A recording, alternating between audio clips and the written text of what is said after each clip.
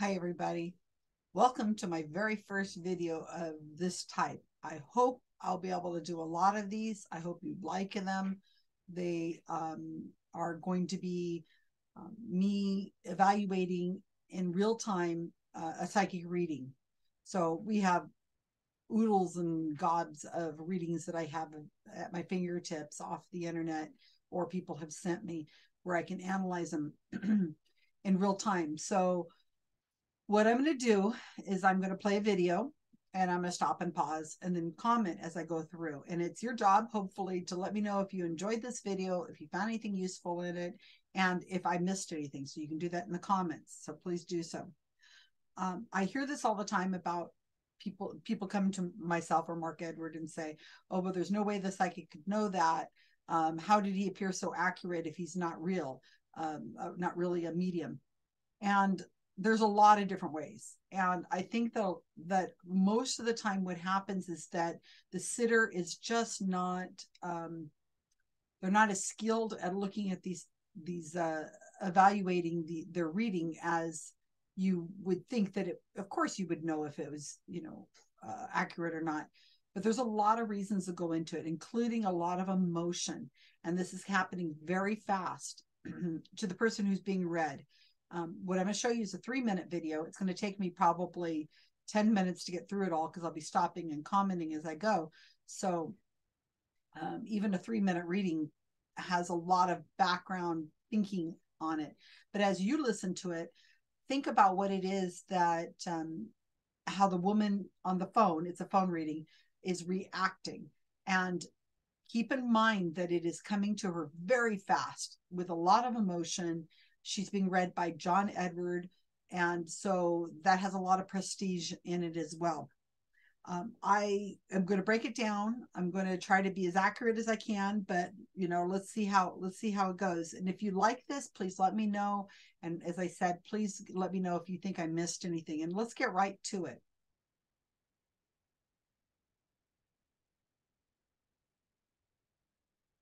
Okay, so what we're looking at right here is this is going to be a reading that is done over the phone. Um, it is for a uh, radio program. It's called the Kyle and Jackie O Show. I don't know anything about them, but they probably are probably very prominent. Um, the sitter, and there's a whole bunch of sitters in the queue. I'm only going to talk about the first one because it just takes too long, and um, you know to go through each one. So each each segment would be a different video somebody brought this video to my attention. I don't normally spend much time on on John Edward, but let's let's see what he's got. But what the person said that they're normally don't believe in psychics, but this this uh, recording that I'm going to show you, well, maybe not this specific reading, but somewhere on here, the person who brought it to my attention said, you know, I can't explain it. How could John Edward know all this information? This is just amazing. So I don't know which which of the readings it is that this person found amazing, but let's see if we can figure it out. So I'm going to go through this. So keep in mind that the burden of proof is on the person making the extraordinary claim. So this is not the purview of the skeptical community to have to disprove everything all the time. I mean, because that's just silly because we can't constantly be disproving every little bit of information. The person who's making the claim is, you know, should be able to back it up. So let's put that out there right up front. We don't have to do this unless John Edward is going to come forward and say, I can communicate with the dead. Here, let's test it. And we test it. We can show that he really can communicate with the dead. We don't have to go any further. It, it would require an awful lot of proof, a lot more than just getting a reading with one person on the phone. Also, this they they make a big deal at the beginning for the sitter not to give any information to John Edward at all. The sitter is going to do that. You just can't help but do that. It's just human nature to give them information. Um, and we don't know if, let's just assume that he does not know who the caller is. I mean, we can't we can't rule that out, right? And let's also assume that the that the screener, the phone screener, has not given any information to John Edward. Um, that also can't be ruled out. But we're just going to, for the moment, we're going to we're going to assume that hasn't happened until we have proof that says otherwise. but I think from listening to this, this will be my third time listening to this, um, that there is no hot reading going on in here. In other words, uh, John Edward does not know who this person is ahead of a time.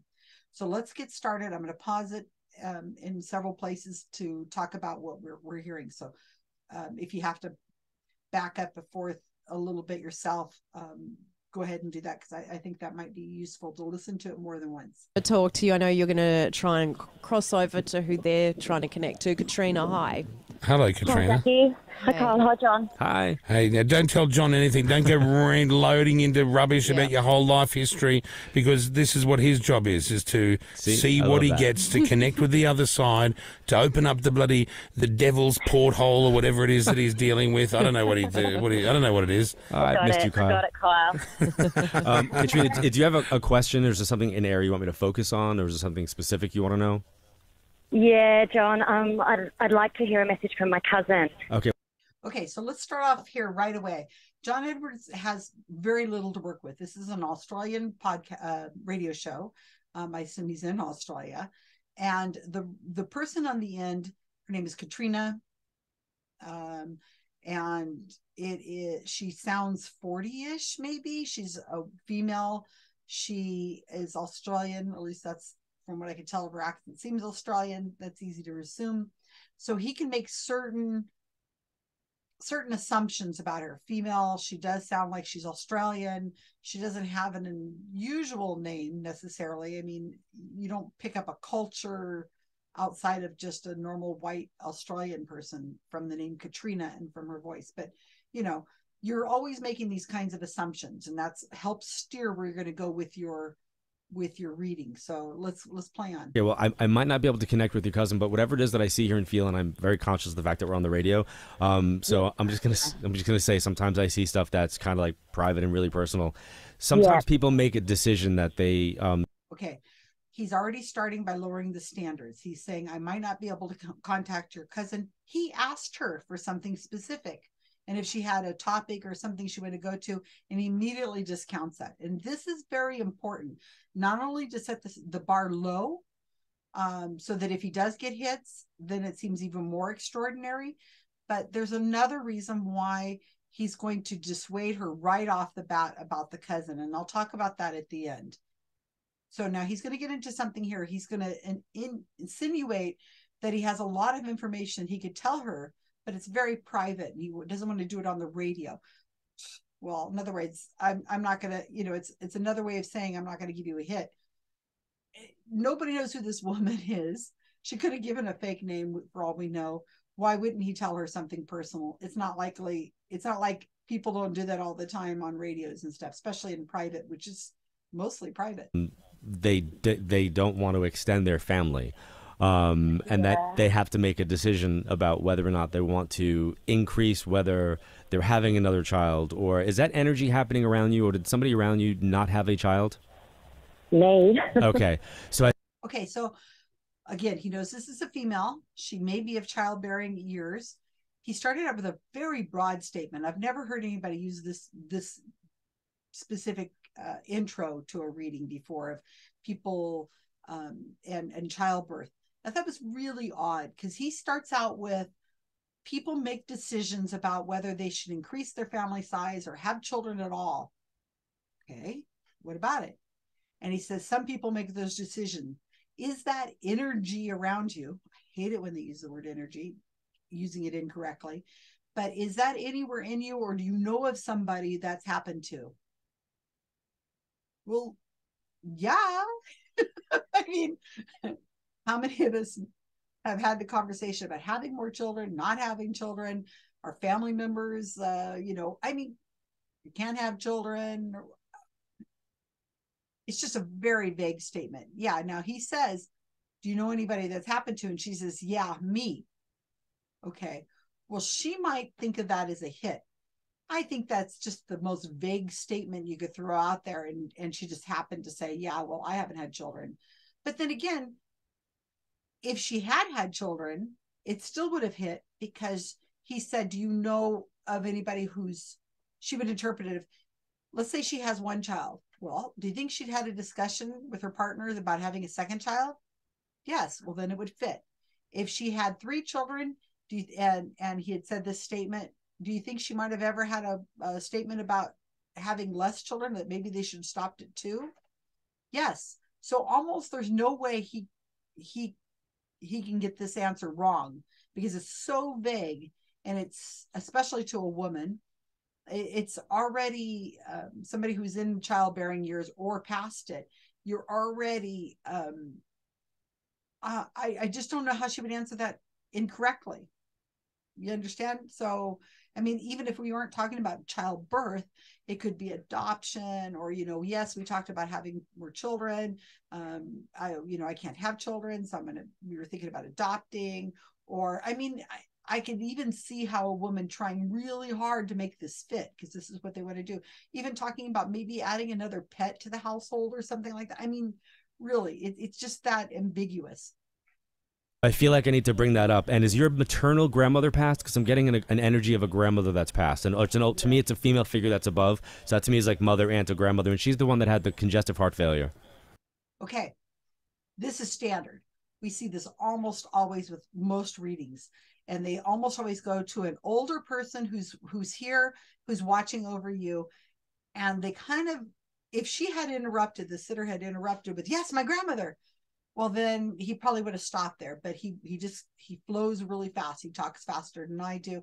And you notice how he says my it's it's a maternal grandmother it's a older woman it's a, a, cousin a sister aunt or whatever. I mean he's got all these females that it could fit and it could be great grandmother. Now keeping in mind that just from this woman's voice i think she's probably in her 40s um, just judging from her voice and the way she she speaks, you know, her elocution. And if she's 40, then her parents, just adjusting maybe a generation is 20 years, maybe 25 years in modern generations. Okay, so her her parents would be seven, 40, 50, 65. Her grandparents would be 85 or 90 at this point. So it's very likely that her grandparents would have have died already. So that's a really good guess for him. Hitting the maternal thing kind of does make it sound a little more specific, but he went from grandmother, maternal grandmother to just about any female that's older than you that has passed on. I mean, he boom, boom, boom, boom, boom. And then he hits because she died of congestive heart failure. And I want you to think about that. That's one of the leading causes of death for somebody who's who has made it into adulthood. Um, it's not like they slipped into the bathtub or or something like that, which actually is more common than you would think. But congestive heart failure. He didn't say she's the one who died um, while skiing in an av- avalanche, or she's the one who um, uh, was beheaded by a helicopter when she got out. I mean, you know what I mean? He, it's it's it's the most generic, pretty much thing he could say. I mean, other than like cancer, heart defects, uh, heart problems. But once you get to a certain age, a lot of people are, you know, there's a certain level of things that you're going to probably be the most likely thing that's going to um, kill you end your life. Uh, yes, I think one of my grandmas did have heart failure. Okay, and then they want to know if you're going to take care of what's. Okay, she admits it. She says, Yes, I think one of my grandmothers had heart failure. Well, don't we all die of heart failure in the end? Okay, well, besides that, she says, Yes, she agrees to a grandmother, not his maternal grandmother, which which is what he said. And she says, I think. So she's really grasping. Okay, now I want to point this out. Most sitters, I mean, she believes she's probably stoked that she's getting read for free on a radio station, probably a popular radio station by this guy, John Edward, right? So sitters are trained to think that this connection, in quotes, that John Edward has with the dead and departed, her dearly departed, is a tenuous thing that that it's not an exact science mediumship.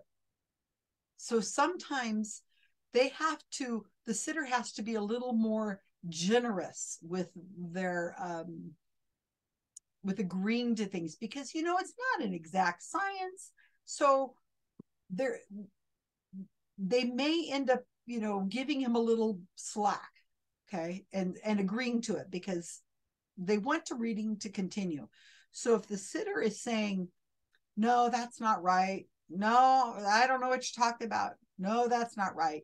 If they do it a few times well then what john edward is going to do is he's going to go oh i'm just not getting you today. Have a great day. Hang up and move to the next caller. That's what's going to happen. And the sitter does not want that to happen. She's probably been in the queue for for a while. She's probably very excited about this. She probably thinks she just needs to kind of just help him out a little bit, give a little bit to it. But I'm not willing to be that charitable because I know darn well he said your maternal grandmother died of congestive heart failure. And she comes up with, she thinks maybe one of her grandmothers might have died of a heart attack, heart failure. Not congestive heart failure, but it could have been a heart attack. It could have been anything. And she says she doesn't know. Now, this grandmother supposedly, who died of congestive heart failure, her maternal side, maybe. John Edward has a special message from this woman. Now, think about all the things that your grandmother, who's watching over you, apparently, this this maternal grandmother, all the wisdom in the world that she could give you, all this amazing things. She's finally able to contact you. You have finally got in on this radio show. You're finally talking to the famous John Edward, who's going to be able to give you all this amazing amount of wisdom.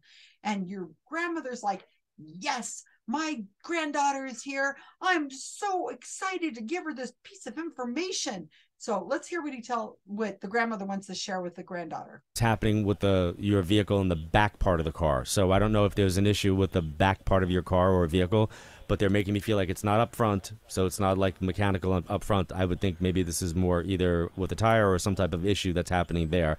And then, do you not know your dad? Okay, so this amount of wisdom, this amazing amount of wisdom that the grandmother wanted to share with her was her car, something with the car in the back? What is she going to go run out from the phone now and go check her tire pressure? I mean, it's just so, it's just like he's just filling time, right? He doesn't even let her pause to have a reaction. He immediately goes from the the back part of the car having some kind of i mean what does that mean a rattling sound in the back of the car um a tire has got a slow leak um what? And why would grandma be telling me that? I mean, just. And when you say these kinds of things to people who really believe, they say, Susan, come on. You know, my grandmother would tell me that kind of stuff all the time. And it just, it's just what's on grandma's mind. It's not that important to grandma. Okay, it's not that important to grandma. All right, so let's move on. So now he's made another statement. This is another statement of fact. You didn't know your father, did you? I do know my dad. So he doesn't know me at the moment. Okay, because they're telling me to use the reference of like not like the phrase for me, like not knowing dad. So you know of your dad, but there's a disconnect.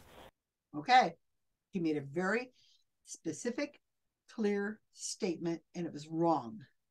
Wrong, Mister Wrongy McWrongface. He said, "You don't know of your, don't know your dad," and she said, "Yes, I know my dad." Okay, this should be a very simple statement. Wrong. And then she says, she says, I do know my dad, but he doesn't know me at the moment. Now, what does that mean to you? So if you're John Edwards sitting there and the other people, the other hosts in there, and you're thinking, okay, what does that mean? What comes to your mind? I think it means that she is adopted and that she has found her father on a genealogy page or on Facebook or someplace, social media, and she knows who he is now. Her mother just told her or whatever, but she's stalking him, so she knows something about him, but he doesn't know that she's looking for him. So her biological father is probably out there not realizing that she is stalking him right now and knows who he is. That's what I would think if I was one of those hosts. And that's what I would think if I was John Edward right now at this moment. So let's see what her answer is. Yeah, he's got dementia. Oh, oh wow. Okay. So it's not. Okay. So that's another huge miss. I mean, miss of uh, like of massive proportions. Your hair would be blown back from your face with the amount of wind that that was coming by you as he missed it. Now you can see everybody's uh, response. Oh, oh, very emotional. These things are very emotional. Now, uh, John Edward has had some big misses. The woman doesn't seem to care. She probably thinks this is all going great. Let's look and see how he recovers from this miss. How I normally get that. Normally they show stuff to me differently. So here's what I'm seeing. I'm not getting the connection to your cousin, but what I feel like, and this might be important m- m- for everybody that's listening, is if you have somebody who's dealing with Alzheimer's dementia, or if they're like, let's say, in a medicinal coma because of their Yeah. whatever the illness is, it is really, really important to talk to them like they can hear you. Think about it like a text, right? Like you're texting someone and they can't respond right away.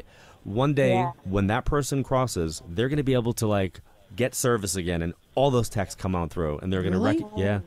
And Oh, I can't wow. tell So- I can't so tell you how keep many talking. how many people will come through from um, after like they've been you know had Alzheimer's for a few years, and then they'll come through and they'll recount the conversations or things that did or did not happen, Wow. or how people Isn't that incredible? didn't come see them or didn't talk to them or counted Yeah. them out in a Yeah. certain way.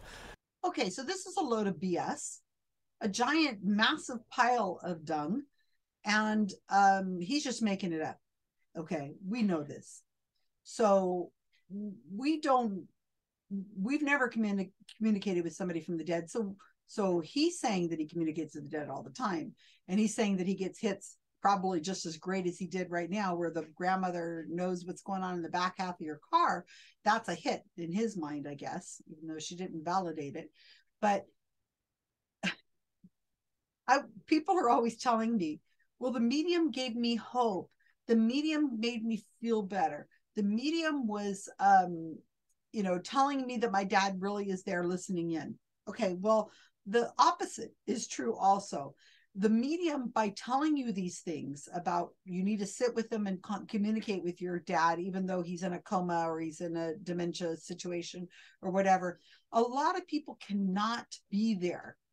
They cannot be there, especially a lot of time near the end of the person's life and talking to them. It's it's a very difficult thing to be sitting there with somebody who does not recognize you anymore. It's painful. It's it's a horrible illness, right?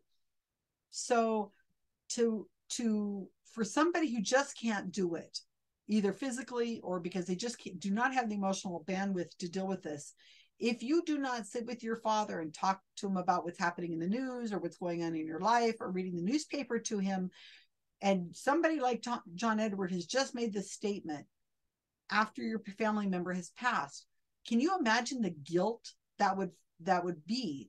You would have this immense amount of guilt, feeling like I didn't sit with my dad. I just assumed he was gone. I didn't make that flight out there to sit there and hold his hand and read the cartoons to him. I really badly messed up, how horrible, what a horrible human being I am.